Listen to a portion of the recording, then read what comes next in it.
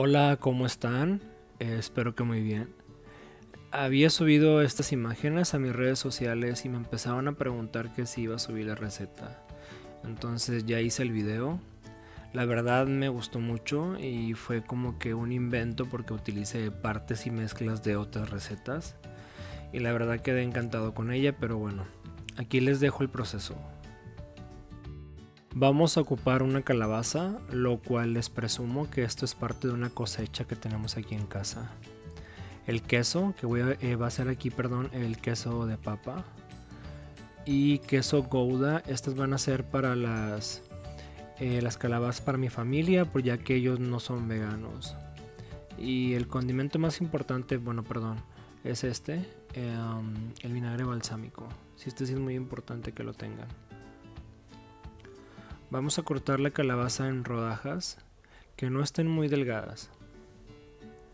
Este, de igual forma, si alguna sale muy gruesa o estas partes de las orillas, las podemos cortar en tiritas y también no sirven de mucho.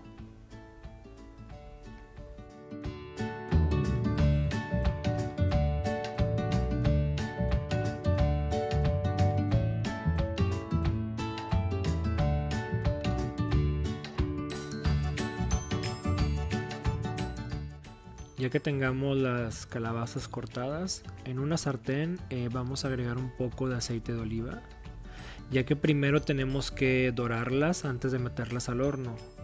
Pero en esta misma sartén vamos a agregar todos los condimentos.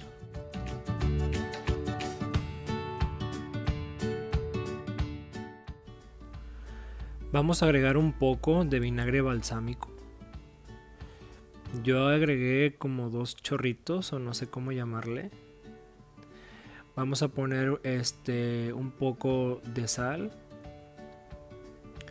También vamos a poner este cebolla en polvo. Si no tienen cebolla en polvo, pueden agregar unas rodajas de cebolla. Eh, un poco de pimienta. También vamos a agregar este ajo en polvo. De igual forma, si no tienen ajo en polvo, pueden poner uno triturado.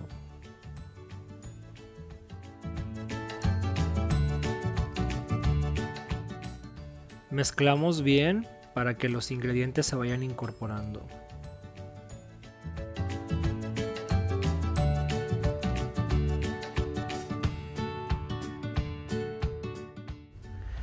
Precalentamos el horno a 180 grados y el refractario lo engrasamos con un poquito de aceite de oliva.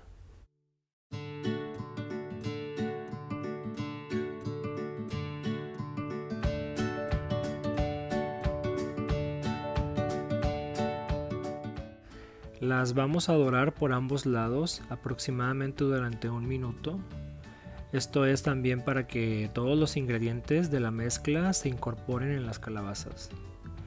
Obviamente esto es lo que le va a dar el sabor.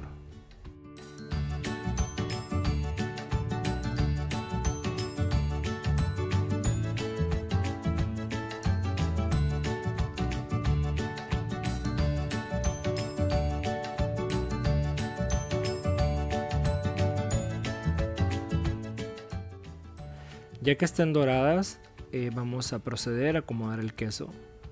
En unas, como les había dicho al principio, voy a poner queso gouda, que estas pues obviamente no van a ser las veganas. Y en otras voy a poner el queso de papa. Después de esto lo vamos a llevar al horno aproximadamente durante 8 a 10 minutos.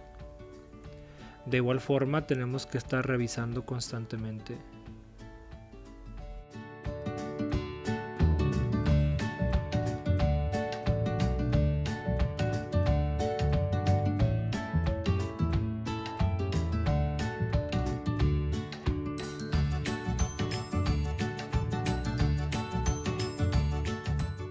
Bueno, les recuerdo, de 8 a 10 minutos y el horno a 180 grados.